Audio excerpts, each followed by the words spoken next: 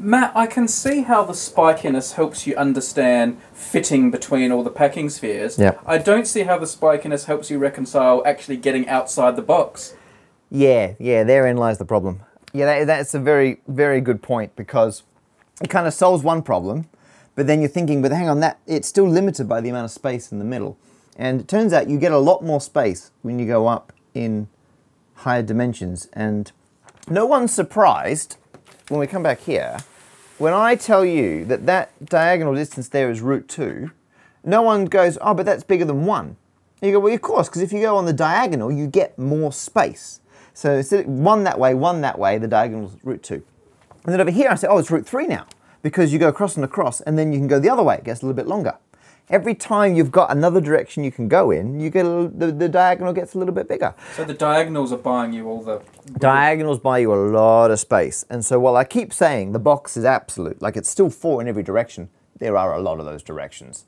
And so it has the amount of space in there, because it's using the diagonal, and every time another dimension, you get more diagonal, it's quite roomy, right? And so, you know, your void in there is bigger than your little circle there, and that carries on all. So kind of we should have seen it coming, because the diagonal increases without bound why on earth shouldn't the sphere being held in place limited by that diagonal increase without bound? And a sphere is already more pointy than a circle.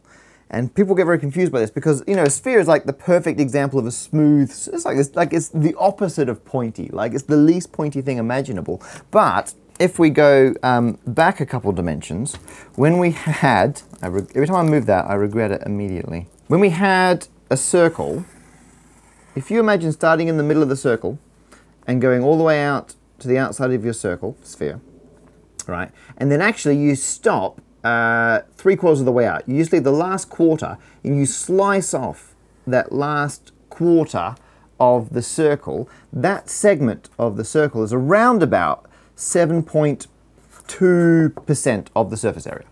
So by slicing off the final quarter of the radius, you remove 7.2% of the circle.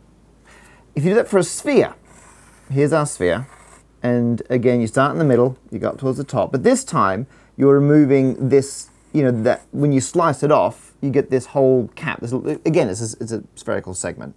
And that is the same point. That bit there is still three quarters of the way out. So uh, both of those I could label, if I was being thorough, as um, that's like R on 4, is that last little bit at the top that we're slicing off. In this case, when you slice that off, you're taking away only, that is 4 point, mm, give or take 4.3% of the whole sphere.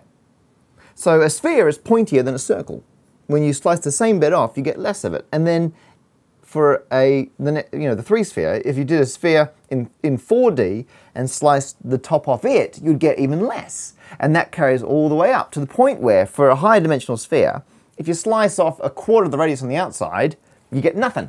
Right? It's such well you do get something, right? There's a tiny, tiny amount because now it's made of bits like imagine trying to describe a sphere to someone who's only ever seen a circle. You go, It's like a circle, but it but it, it, it sticks out in every direction, right? So some of it's over there, some of it's over there, some of it's over there, and and trying to comprehend that, it just it, that just becomes terrible in higher dimensions. It's these little bits of it in every single direction. They go a long way, but they have very little, not volume, but stuff to them. So you slice off the outer quarter in every direction, and. Uh, and you don't get much at all. There you are. Never ends. Your, your center sphere gets bigger and bigger and bigger. And for those of you who are playing along at home, if you want the equation over here, as uh, you may have noticed, it equals, it's the square root of whatever dimension you're in minus 1.